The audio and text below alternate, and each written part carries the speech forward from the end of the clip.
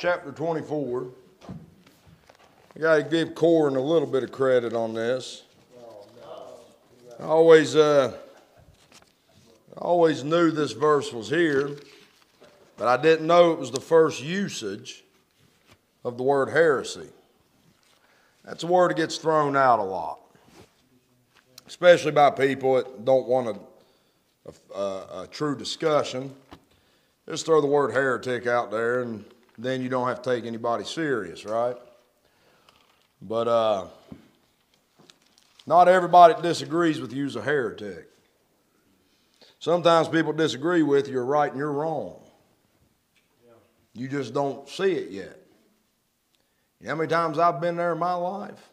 Been quite a few. And uh, but look here in Acts 24, back up in verse 10. Paul's been, if you go back to 20, you ain't got to go there, but if you've read this story, you know that Paul went back to Jerusalem. He goes into the temple there, and you know he's trying to he's trying to live with a with a good testimony to the conscience of the Jews, and they they just they have it out for this man, and so they they end up arresting him and delivering him there to the judges. And so, what you're reading about here now is Paul, here in, in verse 9 or verse 10, it says, Then Paul, after that the governor had beckoned unto him to speak, answered, For as much as I know that thou hast been of many years a judge unto this nation, I do the more cheerfully answer for myself because that thou know that, that thou mayest understand that there are yet but twelve days since I went up to Jerusalem for to worship. And they neither found me in the temple, disputing with any man, neither raising up the people, nor in the synagogues, nor in the city. Neither can they prove the things whereof they now accuse me. Now look at verse 14. But this I confess unto thee. I love this, man. Love this verse. So Paul's going to confess something to him. That after the way which they call what? So worship I the God of my fathers, believing all things which are written in the law and in the prophets. You see that? You know, that's the first usage of the word heresy. You know what it was? It was used by, it was used as slander against a man who worshiped God by believing all that God had written. The word heresy was used there for a slander against a Bible believer worshiping God. Okay? Now get that. Paul confesses it. He said, I conf- he said, I confess to this. He said, These things they're accusing me of, they can't prove them. They didn't find me. I'm not guilty of any of those things, but I will confess this to you. That after the way they call heresy, I worship God, believing all things that are written in the law and in the prophets. Paul was a Bible believer. Amen? This is Paul's confession. Look there, look, read that verse again, verse 14. Read it again. Notice how Paul worshiped God.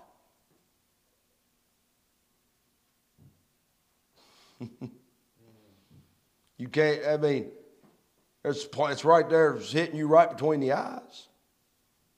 How did Paul worship God? Believing all things.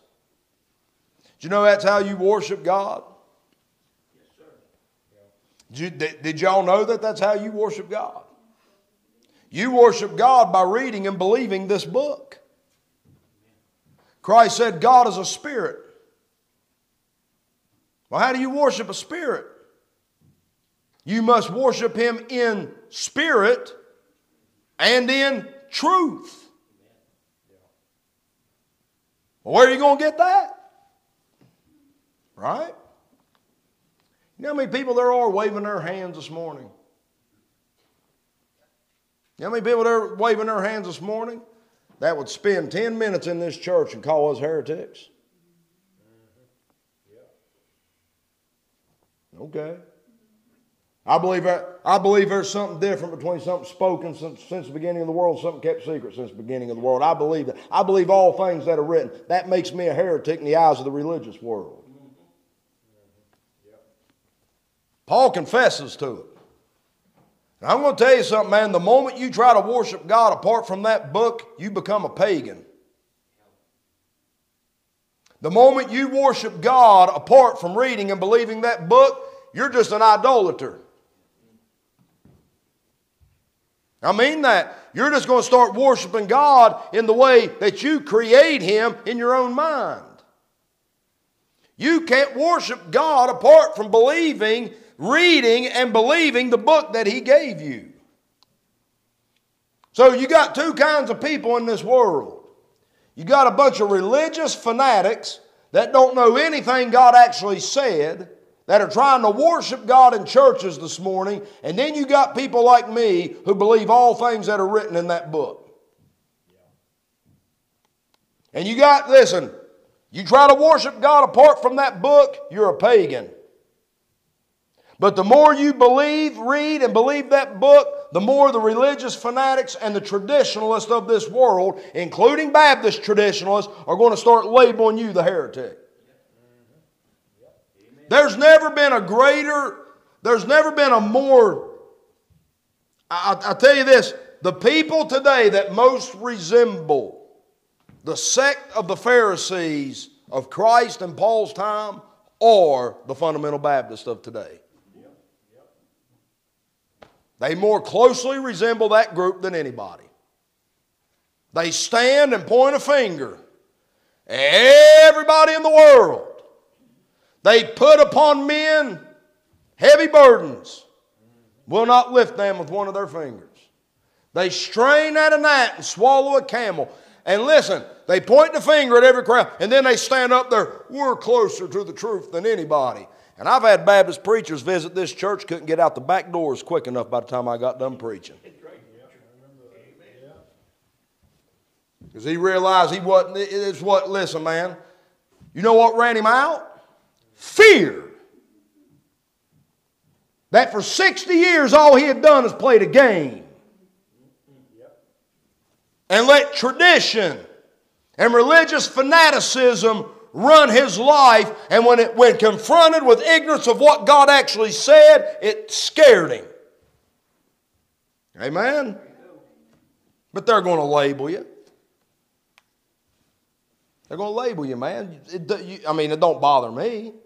You know what I'm going to do this morning? I'm going to preach this morning and confess to you why I'm a heretic.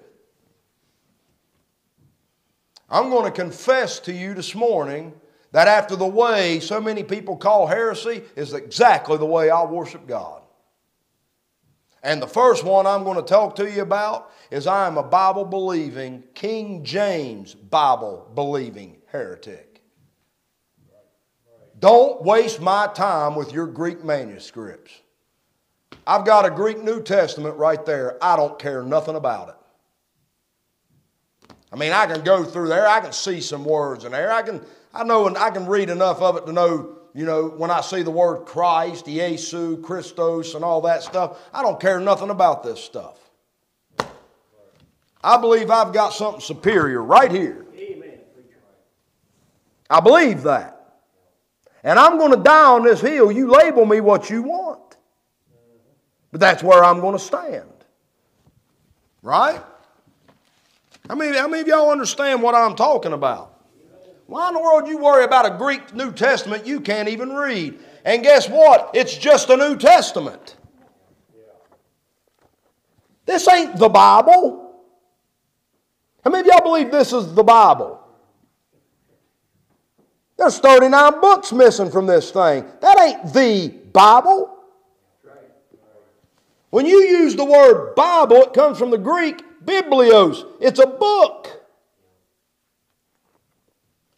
Amen? I've got the book right here. And I believe that book, I believe there's only one. And I got it. Listen, listen. When I say the Bible says, there ain't a one of you have to guess what I'm talking about. Now there's three different ones right here. The New King James, ESV, NIV. When I say the Bible, you don't have to guess. And you'll never hear me say, well, mine says it like this, mine says it like that. When I say the book, and how many times y'all hear me say that? Sometimes I don't even use the word Bible. I say that book, the book, the book. I only mean one. Now you label me what you want, but it ain't going to affect me. I'll die on this hill if I die alone. I've spent 20 years with the book. Listen, man, I can tolerate a lot in this world. I can tolerate men who don't understand. I can tolerate people who have a little bit of different doctrine to me. I can tolerate a lot.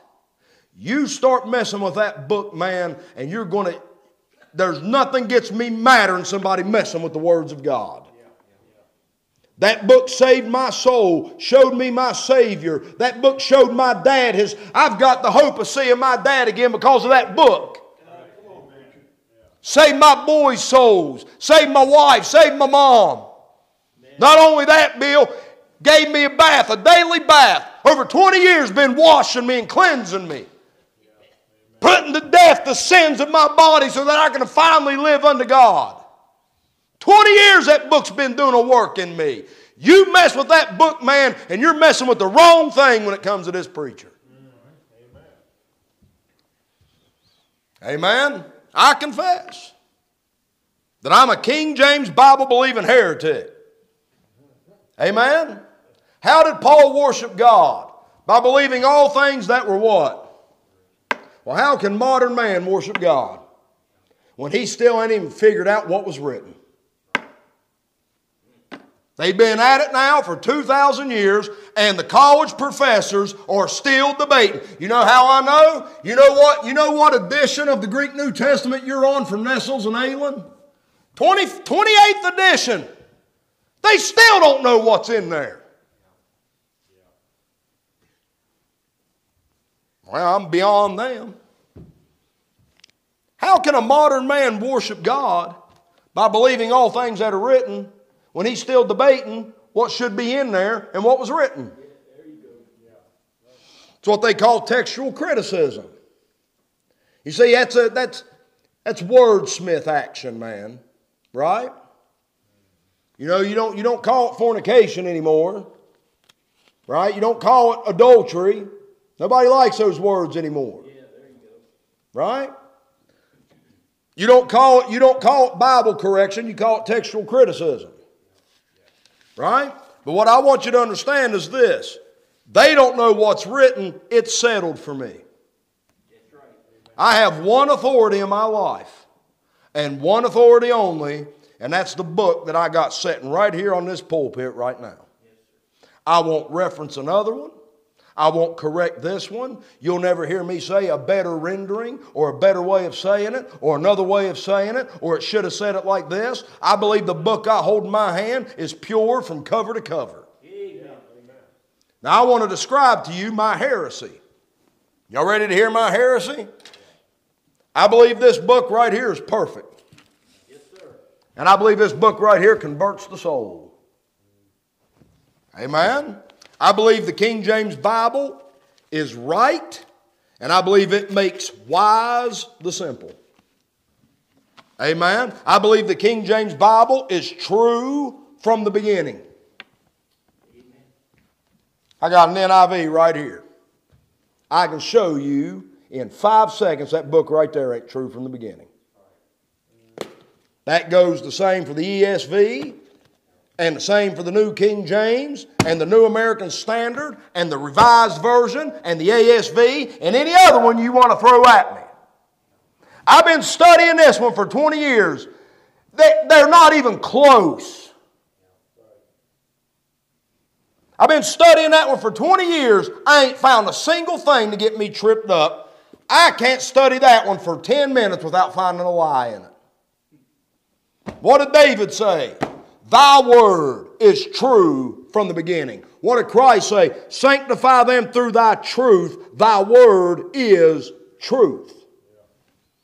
Well, it shouldn't be hard to find it, should it? I believe the King James Bible is true from the beginning, and every one of its righteous judgments endureth forever. I believe that book right there is a lamp under my feet and a light under my path.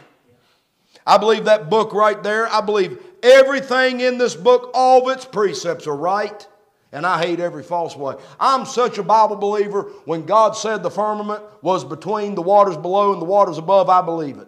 And you'll never hear me apologize for that book. Well, no, it's just speaking in a language. Oh, go sit down, man. You just got here 40 years ago. That book's been here for eternity. It's forever settled in heaven, and don't you dare think you have the audacity to stand up and critique and to criticize that eternal book. Because the moment you do, you've got too big for your. Well, you got to understand, we know better today. And you got to understand this, you got to understand that. I believe everything God said in Genesis chapter 1 about heaven and earth. If I didn't believe it, I'd throw that book in the trash and I'd go fishing. If I got to start correcting it in Genesis 1, you're going to find me correcting it in John 3, and therefore I don't have any faith in this book. I'm just going to go to the house. I believe this book is magnified above all God's name. I believe this book is pure. And those who add or subtract to it are all liars. Every one of them. PhD, THD, John R. Rice, Shelton Smith, those dear, good, old, sweet, godly, dedicated saints of God. The moment they started correcting and adding and taking away from that book, they all become liars. That's Proverbs 30. I believe this book is where faith comes from. I believe this book, this King James Bible, I believe this King James Bible is forever settled in heaven. Oh, what a heretic. Yeah, that's what we're saying. That's what the message is about. Right? I believe this King James Bible worketh effectually in them that believe it. I believe this King James Bible was given by inspiration and is profitable for doctrine, reproof, correction, and instruction in right. You believe the King James Bible is inspired? See, everything people know about inspiration they got from a seminary. Or some preacher that the word's only in the Bible twice. Now, how can a man take a, take a subject that's mentioned in Job 32 and 8, 2 Timothy 3.16, and write five chapters on it in a theological book. How much you want to bet that guy had a lot of material that he couldn't find out of a Bible? And so you're basing on whether that King James Bible's inspired or not on a bunch of rules you read from a seminary that made them up. I believe that book was given Yes. given. I believe it's given to me by inspiration of God, and I believe it is profitable. I believe that King James Bible is more than capable of perfecting me and thoroughly furnishing me unto all good works. That's why you won't see me trying, you'll see me reading. You don't see me doing my best, you see me studying the Word of God. Because that's the only thing that can perfect me unto every good work. I believe the entrance of this King James Bible gives light. When Paul said, Preach the word, be instant in season, out of season, I believe that's the King James Bible. I believe when that Bible says that it's, it's that God's word is a discerner of the intents and thoughts of the heart, I believe that King James Bible discerns the intents and thoughts of man's heart. When it says that the Word of God is quick, I believe that King James Bible is quick. Amen? And I believe when that King James Bible is written upon your heart, it gives life to you and transforms you into the image of our Lord and Savior Jesus Christ. You know what that means? The image of God's Son is right there. The image of the invisible God is right there. And when you correct it, you're corrupting the image of the uncorruptible God. And I won't stand for it. And I won't take you serious. That's God's image. Now, you know why? Do you see why I called you an idol worshiper? You start correcting that book, you're an idol worshiper. I don't like this part about God. I'm going to change it.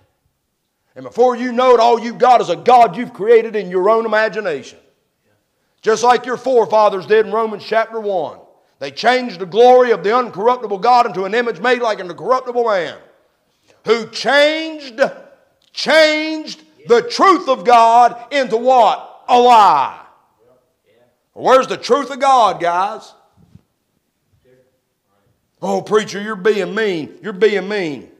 There's nothing meaner than a man correcting God's word. And if you don't like me calling it out, it shows you whose side you're on. I believe any departure from the King James Bible is a false way, and I, like David, hate it. I esteem all thy precepts to be right, and I hate every false way. And I believe you start messing with the precepts of that King James Bible, you're creating a perversion and a falsehood, and I despise and I hate it. Now, let me let you in on a little secret. Y'all have all heard them. I, I grew up in church too. Now, the Greek says, I watched John, I watched Oliver B. Greene, man, and God love his heart. I love Oliver Greene, But he don't get off the hook. You know, these, these fundamental Baptists, man, they all, they, all, they all ripped Charles Stanley up for years for using new translations, but boy, they let John R. Rice off the hook, didn't they? Bunch of hypocrites. Listen, man, Oliver Greene in 1 Corinthians 15 29, the baptism for the dead, this is what he said in a paragraph in his commentary. Now, what we cannot do, he said it's a hard to understand verse, but the only way we're going to understand it is to compare Scripture with Scripture and not make the text say what we want it to say. Very next paragraph, he doesn't compare Scripture with Scripture and then takes Greek authorities to correct the passage so that it now resembles something he can understand. He broke the very thing he said he couldn't do. Greek authorities tell us that when Paul wrote the original, there ain't a man on this earth that's ever seen the original book of 1 Corinthians penned by the Apostle Paul. Now, let me tell you something. Let me let you in on a little secret. Anytime you hear a preacher say, the Greek, when he says this right here, the Greek says, know one of two things about that preacher. He's either stupid or he's a liar. And there's no, other, there's no nicer way of putting it. I know this is language that people don't like. God calls them liars. Listen, man, most preachers in America today are professional liars. They went to seminary and learned how to lie, and now they've made a profession out of it. They're professional liars. I'm going to tell you something. A preacher that says that has either been taught to lie or he don't know what he's talking about. Either way, you shouldn't take him serious. You say, why would you make a statement like that? Why would you make such a statement like that? Because there's no such thing as the Greek. No such thing. And I'm getting ready to tell you what I mean by that. Y'all know prior to 1516 there was no Greek New Testament that you could hold in your hand? That's 1,516 years, man. 1516, no, there was a Bible in print before there was a Greek New Testament in print. The Gutenberg Bible. You, you, there was no Greek New Testament prior to 1516. And then a man named Erasmus come around, and I've, I, this is this one right here is the, the, the, the Beza text that the King James was translated from. But this, listen, Erasmus come around, what you had was thousands and thousands of Greek manuscripts. Erasmus come around, got started collecting them, reading them, got rid of the ones he knew were tainted and corrupt, compiled all the ones that he, he found acceptable, and put them into a book. You know how many editions of Erasmus' Greek New Testament there was? Four. Now I could stop right there. If there's four editions of Erasmus's Greek New Testament, when your preacher says, the Greek says, which one's he talking about? Then a man come around, Stephanus, wrote four more. Then Beza, 10 editions of the Greek New Testament. That's 18 already. And then a family rose up around 1898 named Nestles. And I ain't even going to give you all the Greek New Testaments. Then another man added himself to it, Nestles and Aland. They're on their 28th edition. In eight, since 1898, that's a new Greek New Testament every four years for the last 100 years. So when your preacher says, the Greek says, he's either stupid or he's a liar. Let me tell you something. I've got three Bibles right here. You see them? Right? Get, uh, get Hebrews 3. Get Hebrews 3 in your King James. I'll show you what I'm talking about. Look in Hebrews chapter 3. We're not going to get into all the ways I'm a heretic this morning, but this one will suffice.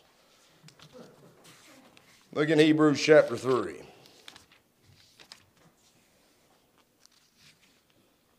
Look down there at verse 16. For who, having heard, rebelled? That's a question. Now, you ready? Indeed, was it not all who come out of Egypt led by Moses? That's the New King James. What does yours say? Yours says, Howbeit not all that come out of Egypt, right? Now, guys, they can't be any more different. Your text, your King James says it was not all that came out of Egypt that rebelled. This one says it was. Now, listen, all you need is one. Did Joshua rebel? What about Caleb? What about the whole generation 20 years and under that got to go into the land after all them died? Well, there's your new King James, but it's easier to understand. Right? Look at the uh, look at Romans 8 1.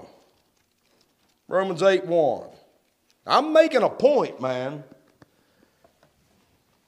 You throw the definite article in front of something, the. That means that that has been defined.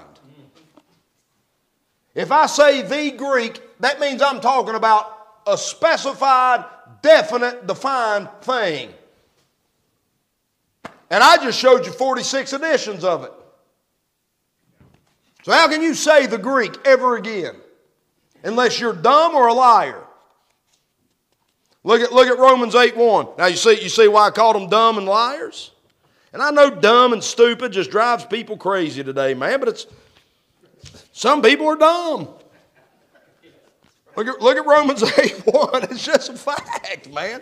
Look at Romans 8. And some of the dumbest people went and got a, paid $100,000 to become that dumb. Is the amazing thing about it. Look at Romans 8 1. Therefore, there is now no condemnation for those who are in Christ Jesus. There's the NIV. Now you're allowed to believe it. You're allowed to believe it. I think, I think yours has 10 extra words there, don't it? All right. Here's the ESV. This is the one they're trying to. Every new Bible they come out with, finally. This is the one, man. This is the. And then two years later, they're promoting another. Look at, look at, look at, look at Mark chapter 1, ESV. You see, my King James has 10 extra words in Romans 8 1 that the NIV don't have. Now, I done told you where I stand on it. I believe my King James is pure, and any additions or subtractions from it, from it makes the ones who did it liars. That's where I stand. So I, I reject the NIV just on that principle alone. Here's the ESV, the more accurate one, the most accurate translation ever made. Look at Mark 1 2. As it is written in Isaiah the prophet Behold, I send my messenger before your face who will prepare your way. Yeah, good luck. I see some of you haven't been reading the Bible enough to even know what the problem is there. I bet you yours says prophets, plural, don't it? You know why your King James said prophets? Because he's quoting Malachi and Isaiah. Behold, I send my messenger ain't in Isaiah, it's in Malachi. It's Malachi 3 1. Now, let me ask you something. As it is written in Isaiah the prophet, Behold, I send my messenger. Is that true? Then what is it? There it is. Being promoted by just about every major faculty of Christian. This is the men, this is the men educating the next generation of preachers. And you get upset at me for calling them liars and calling them stupid?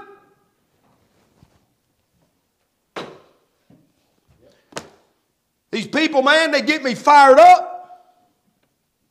And they'll be the ones that label me the heretic. Now, there's no such thing as the Greek. I can't use the word the Greek any more than if I believed every one of those was reliable. I could never again ever say the Bible says. Because I just showed you that they don't say the same thing. You know what you do? Two conflicting authorities. Boom. Conflict with that one. Conflict with that one. Conflict with that one. Well, who gets to decide? You do. You just pick the one you like. I'm sure you don't like Romans 8 1, who walk not after the flesh but after the Spirit, because the majority of Christians walk after the flesh. So I want a version that don't have those 10 words in it. So I like the NIV better. It's more reliable. It's easier to understand. I'm sure it is. You understand where I'm at this morning? How could I ever set and promote four different books and then say the Bible. I've lost all right to ever use the phrase the Bible again. When I say the Bible, man, you know what I'm talking about. And it ain't some mythological Greek text that I've never held in my hand. Amen? You see this thing here? Got another one here. See this? That's written by Sam Gipp. It's a, it's a it's him talking about the 26th edition of the Nestle's Greek New Testament. And you know what these, you know what these good godly men did? You know what they did? They reintroduced 554 Greek readings from this one. This is the one your King James come from. Them men, after 25 editions of saying, oh, older and better manuscripts, older, better manuscripts, and correcting this one, and removing verses and half of verses and words, they neatly, in the 26th edition, realized how wrong they were and reintroduced 554 of them back into the New Testament after 25 editions of ripping this one to shreds didn't have the decency to stand up and apologize to the Christian world for trying to steal God's words from them for over a hundred years. You can have those thieves. If I'd been trying to steal God's words from you and realized I was wrong, I'd at least have the decency to tell you I'm sorry. And I definitely would have enough decency to never put out another edition of a Greek New Testament again because I wouldn't be qualified. They've made three since then. And the preachers are still standing up, just slobbering all over themselves anytime they talk about it. You see, if you're a King James Bible believer, man, you get classified with the dumb briar hopping hillbillies like Lester Roloff and Mays Jackson and Tom Malone and Bob Gray. But if you get up and you talk about the aorist perfect participle and the present passive and all this other stuff, man, you get labeled in with James White and that crew. Pick sides, man. I know where I stand. Amen. Y'all understand what I'm saying about this King James? Amen. But I'm not even a Texas, listen, this right here, the Textus Receptus, I'm not even a Textus Receptus guy. I'm not. I've got this book right here, man. If y'all want to come up here and try to read it, be my guest. I can't read it. I mean, I, I've sat and looked at it. Like I said, I can go through and pick out some words. That ain't reading the Bible. So I'm not even standing up here debating over which Greek text is the right one. I'm a King James Bible believer, guys. When I talk about the Bible, you won't waste you won't see me waste 5 minutes of my time looking at the Greek or anything else. Not 5 minutes of my time. I won't look up a Greek word. Every now and again you'll hear me you'll hear me reference one or something like that. Guys, I believe this King James Bible right here.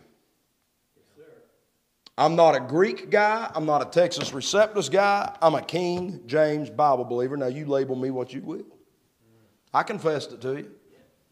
And I'm going to die on that hill, Bill. And I'll be dying with that book strapped on my arm. And by the time I die on that hill, hopefully that book's giving me the breastplate and the shield and the armor and the helmet and hopefully I've become an expert at using that sword.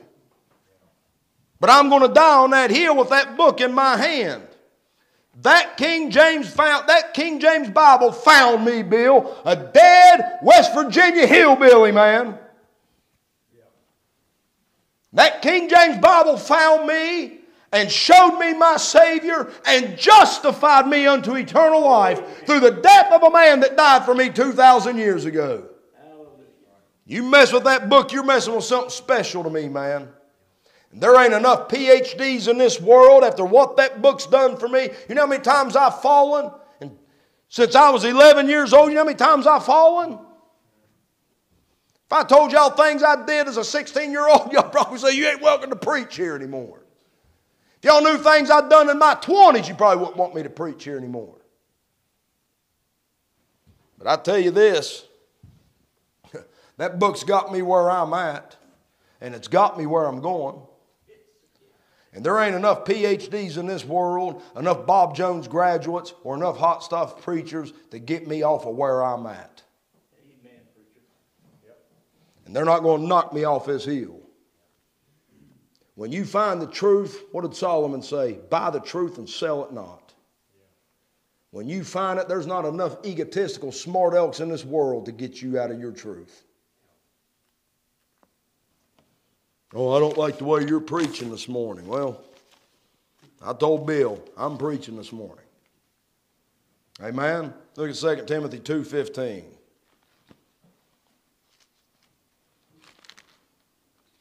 So I'm like Paul, man. I believe all that was written. And guess where I believe it's written?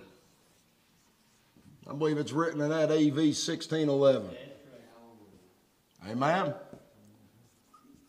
I believe that book is the written words, the written words of the living God. Amen. Now you know where I stand. All right? You don't have to stand with me. Most people won't.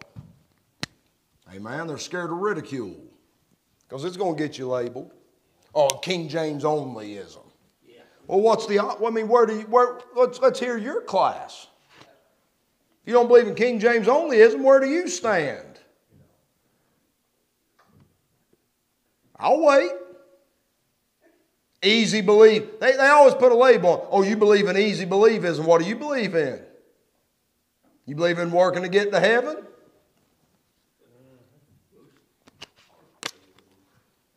King James onlyism. Ruckman called it scholarship onlyism. Right? I mean, if you don't believe in the authority of that book, what do you? What's your authority? Amen. Look at 2 Timothy two fifteen. Here's another way. I'll confess this one to you. I won't be too long here. Might have to, I, might, I might pick up with some of this next week, man. I, I don't want to tell you all that. You'll be, I ain't going back. He'll be mean. Honestly, man. But look, look at 2 Timothy 2.15. Study. This is the next thing I believe in. Study to shew thyself approved unto God. How many of y'all believe that? I believe it. You know what that one says? That's the NIV. I ain't gonna flip there and read it. Y'all, y'all look, y'all stare at your King James Bible when I tell you what this one says. That one says study. It tells you something to do. Gives you something to do to approve yourself. You know what this one says? Do your best.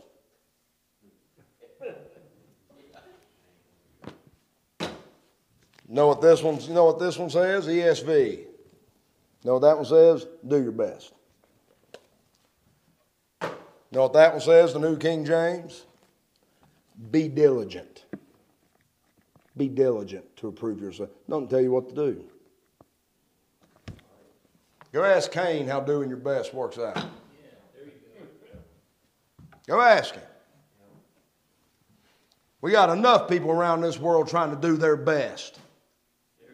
That's why you, that's why you got 100 churches in Fairmont, and if you walk into uh, the 98 of them, you're more likely walking into a hornet's nest of lies and devils.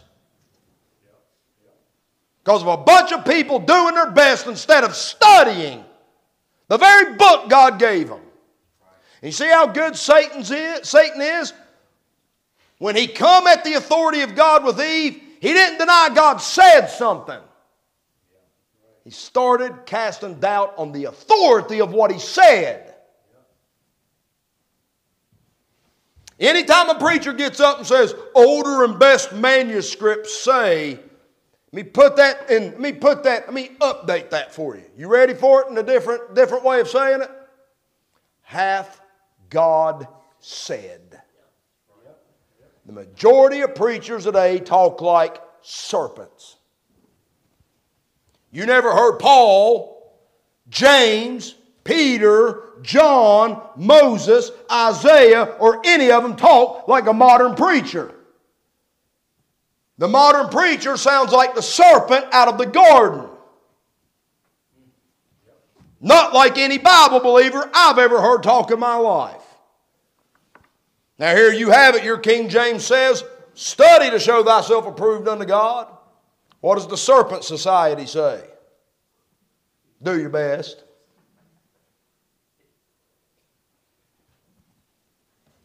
That's where, that's, where, that's where that tree of knowledge will get you. Do your best, man. Give it your all. Do as do you know, dream it and build it and do all that stuff, man. It's like Dr. Ruckman said. He said, he said, I, he, Ruckman said, I've read a book a day since I was a child. 20, he said, I think he said 24,000 books later, there's one book that stands alone from all other books. And he said it's as if, he said the 24,000 books that he had read, he said it's as if there was one spirit. Not, not the Bible. The spirit of this world had been writing through the pen of man, he said, for hundreds of centuries. He said, and you can always tell it. It's plumb full of a bunch of positive thinking humanists. You can do it. Do your best. Be diligent. Right? That King James Bible is one of the most negative books ever written about mankind. It says you're altogether vanity says, Your body is vile. O wretched man that I am. Amen. Their throat is an open sepulchre. With their tongues, they've used deceit. The poison of asp is under their lips. Now, how many of y'all believe that? Then why are you not more careful with your mouth? If you truly believe that the poison of an asp was in your mouth and in the power of your speech, you'd be careful with it. That's how God talks about man. Do your best. Just go ahead and do it, man. Cain did. And then when God didn't accept him, you know what he did? He killed Abel. We got a whole Christian world out here. This is where I'm heading with this thing. Got a whole Christian world out here doing their best. They get saved and they take on the music ministry, you know. 25 years later, they're still strumming a guitar, writing little songs that make their heart feel good. And when they would come and hear Bible preaching like this, man, they'd get so bent out of shape, man. Who knows what they'd do to me? Right. You're right, preacher. Well, I cut the grass down at the church for 85 years and yada yada. Just doing their best. They come to church once a week, go home. What happens to the book when they get home? Who knows? I don't know. I'm telling you, God gave you something to do to approve yourself to Him. I believe that that book I hold in my hand is the written words of the living God. And I believe if I want to approve myself to Him, I have to study the words in that book. That's what I believe. I don't believe I have to do my best. I believe my best will never be good enough. I believe only that book can make me into something that God approves of for His work. All scripture's given that the man of God may be perfect, thoroughly furnished unto every, all good works. Study to show yourself approved unto God, a workman that needeth not to be ashamed. Listen to what he says rightly dividing the word of truth. See, what's going to happen is we believe this, that sets us apart right there. And then we're not like the we're not like the fundamentalist man. Well, I believe this Bible's the Word of God, and then you show them secret and spoken. Well, it's not rhetoric with me. I believe this book. I believe everything written in it, and I've been studying it for 20 years.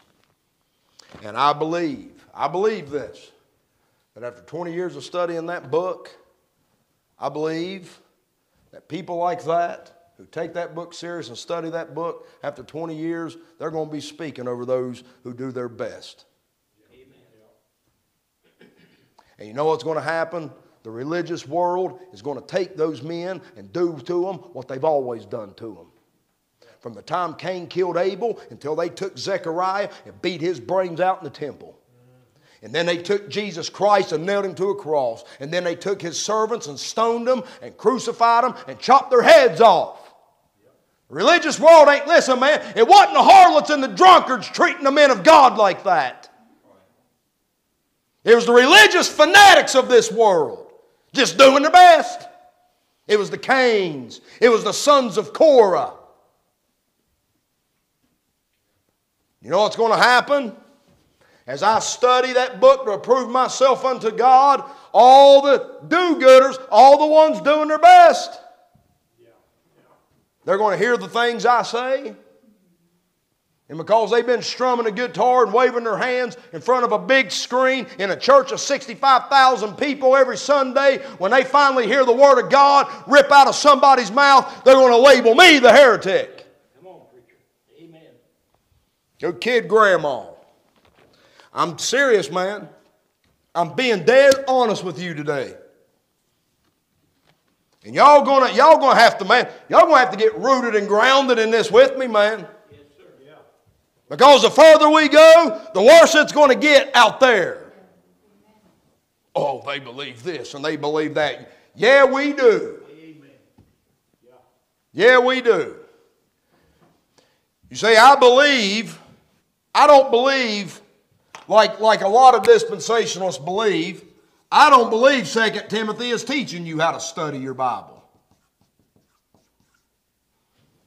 I don't believe that. I believe 2 Timothy is showing you the fruit and the skill that comes from studying your Bible, and it's the skill God wants in His workman. And it's the ability to rightly divide the word of truth. God ain't God didn't give you a book on how to rightly divide it, did he? He told you to study it. And you would be a workman that rightly divides it. I believe the more you study that book, the more you're learning how to rightly divide the Word of God. So then when we get up and we draw charts like this right here, You know why we draw charts like that? I know, I know most Christians don't have any idea what we're doing, but you know what we're doing? That's the Bible rightly divided.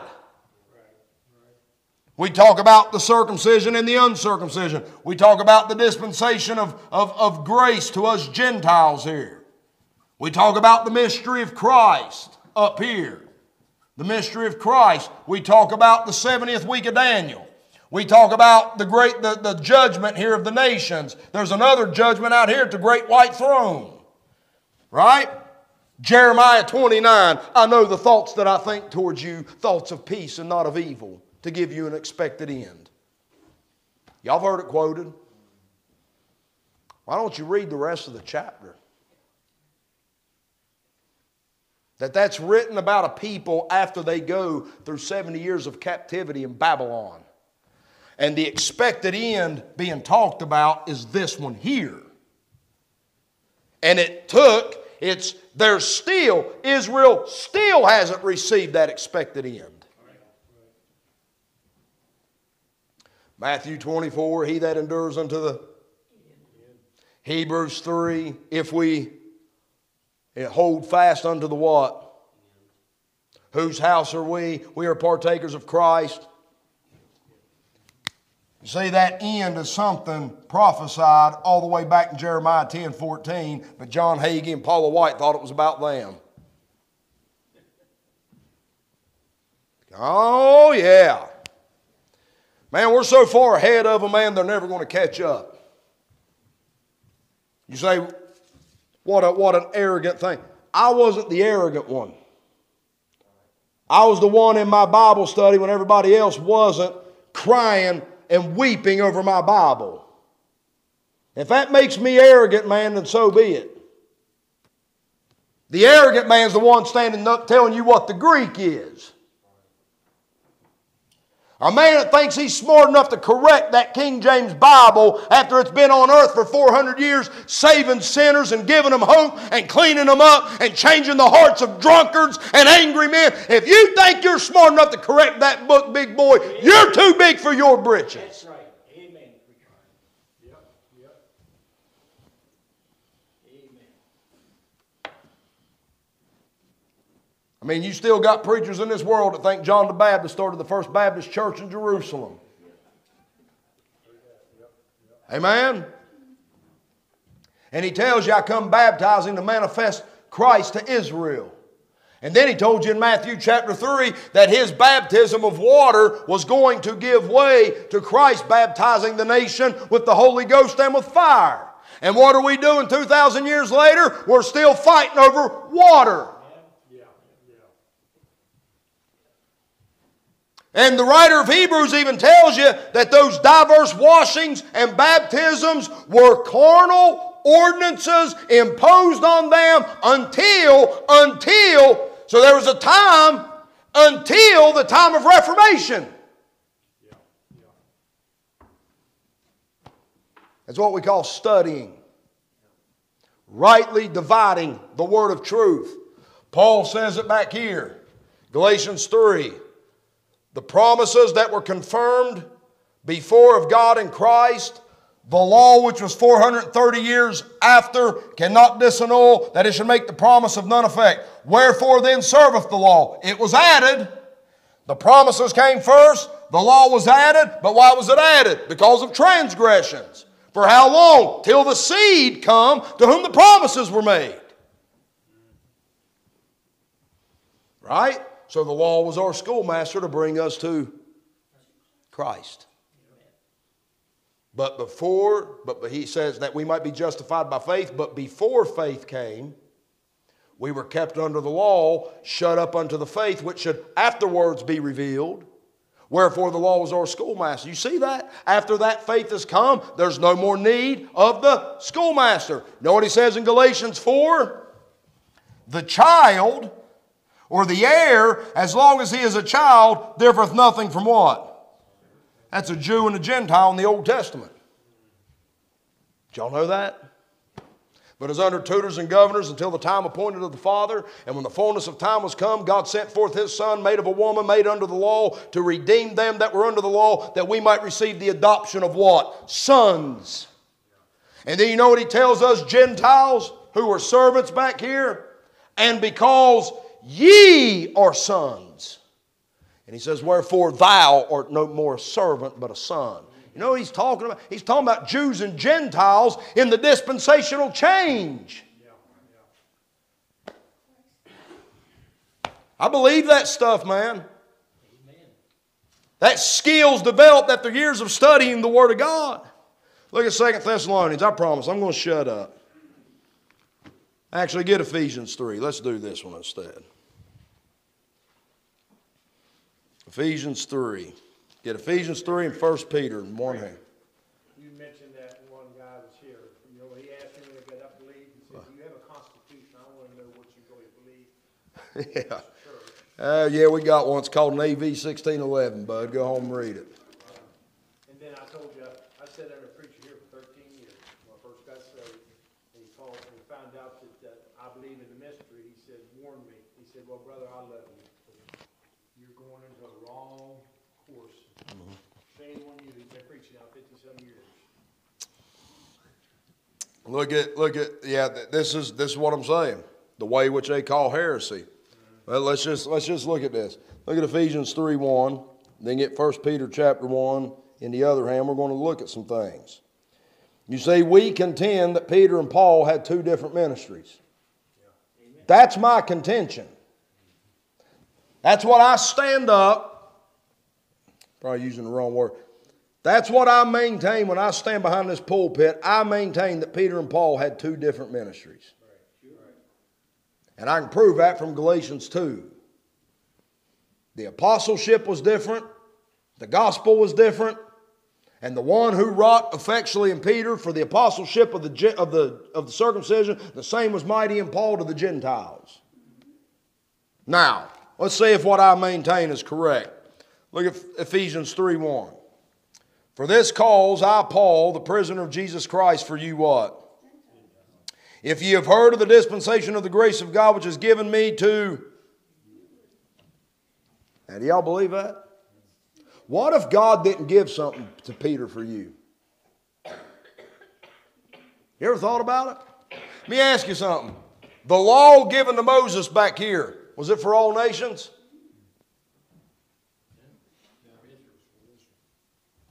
God didn't even make that covenant with the fathers of Israel. Moses says that in Deuteronomy 4, Deuteronomy 6. Now, this dispensation was given to God for us, or given to Paul by God for us. What was it? How that by revelation he made known unto me the mystery. Look at verse 5. Which in other ages was not made known unto the sons of men, as it is now revealed unto his holy apostles and prophets by the Spirit, that the Gentiles should be fellow heirs and of the same body and partakers of his promise in Christ by the gospel whereof I was made a minister according to the gift of the grace of God given unto me by the effectual working of his power unto me, who am less than the least of all saints is this grace given, that I should preach among the Gentiles the what? Now, do you believe that or don't you? Do you believe what Paul's preaching was unsearchable or don't you? Because if it was unsearchable, and you can go find it in Isaiah, then it wasn't unsearchable, was it? Paul said it was not made known in other ages.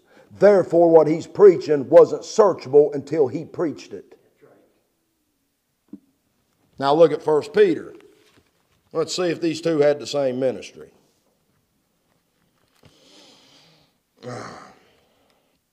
Verse 9, 1 Peter 1 9 receiving the end of your faith, even the salvation of your souls, of which salvation the prophets have inquired and. Now you say, I'm going to be the heretic when I leave here. Because I believe something searchable and something unsearchable is different. Amen. And I'm going to be the one that gets labeled the heretic. Look at what he says. You know what salvation the prophets prophesied of? Salvation of Israel. Paul said at Romans 11 26, all Israel shall be saved as it is written, in contrast to their blindness during the mystery. That's Romans 11 25 and 26. Now look at what he says. Who prophesied of the grace that should come unto you. Okay? Now there's, listen, man, there's two different people, and I'm going to shut up, I promise you. There's two different people that are receiving grace. Peter said that the prophets prophesied of the grace that should come unto you. Paul said the dispensation of the grace of God given to me, you word. So there's grace dispensed to Paul for the Gentiles, and there was also a grace prophesied that was going to come to somebody. Are they the same? They can't possibly be. Because the grace that was given to Paul was unsearchable until Paul preached it. Paul's talking to these, or Peter's now writing to these Jews about a salvation that's been prophesied for them for all throughout their history. And those prophets back there, they would receive it and then search it. When Daniel's getting his information, man, it troubled him for weeks on end. He searched it, studied it. How did you think he come across the 70 years of captivity in Jeremiah? He was studying books. And he's reading it, searching it out. And this, this grace was prophesied. Well, yours wasn't. Look at verse 13 there. Let me put my notes up. Look at verse 13. I'm all hot, sweaty up here. Look at 113. Huh. I can go another 40 minutes now. Thanks, Lord. I'm just kidding. Look at, look at verse 13.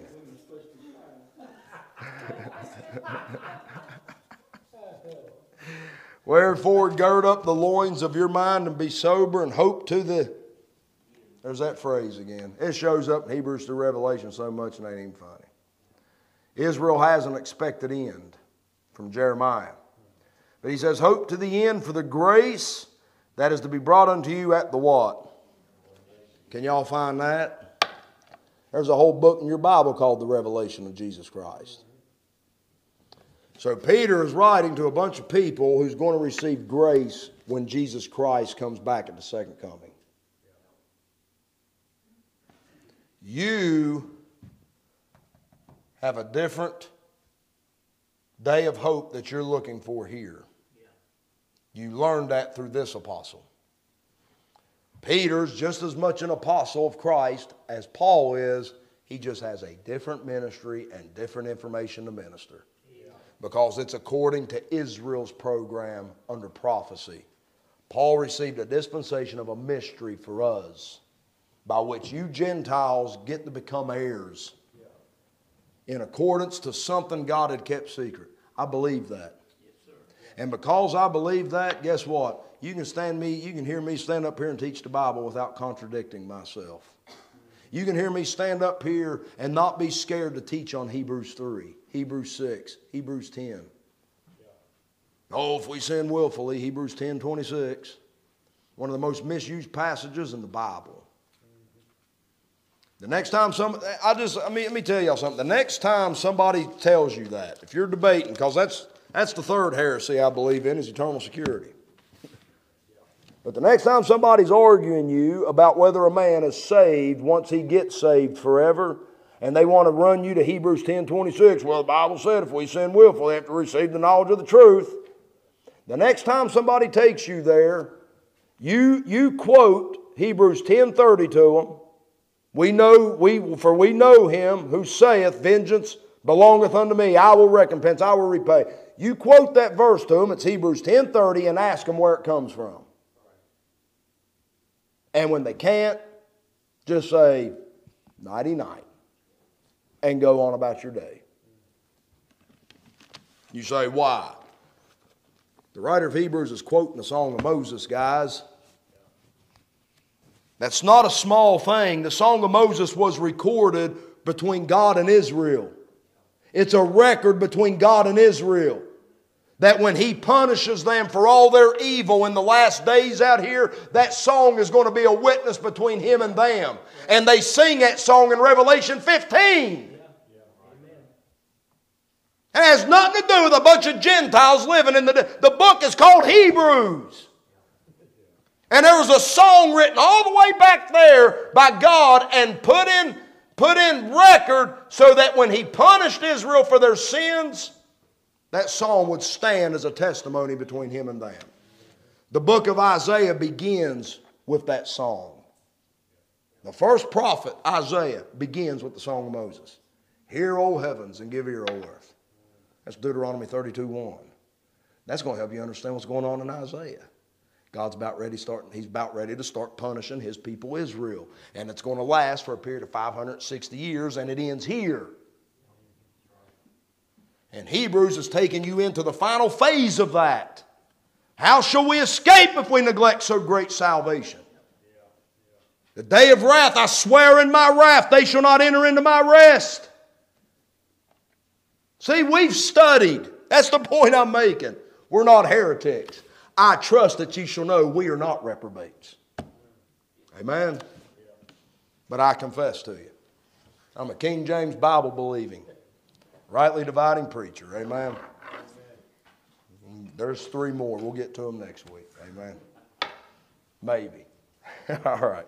Father, we thank you for this day, Lord. I, I just want to thank you for what a great day we've had here, Lord. I know I got fired up mad, Lord. Just help these people to understand, Lord, that there's nothing personally at them. And if it is at them, Lord, and they just I just, I just pray, God, that you would allow people to see my heart in doing these things. That there's not a mean spirit there, there's not an angry spirit, there's just a spirit of, of, of, of love for you and, and love for the authority of your word, Father. And God, I just pray uh, that, that you would take these messages this morning, Lord, both of them, and that you would uh, edify the people out of them, Lord. Help them to, to understand that the, that the King James Bible can be trusted that it, it is the authority you've placed in our hands. You gave it to us by inspiration for the purpose of studying it, teaching it, and reproving and correcting each other and instructing each other out of this book that we could grow up together and become, become men that are perfected in Christ and furnished unto all good works. God, I pray that you keep everybody safe and bring them back safely at the next appointed time. We ask it all in, our, in the holy and precious name of Jesus Christ our Savior. Amen.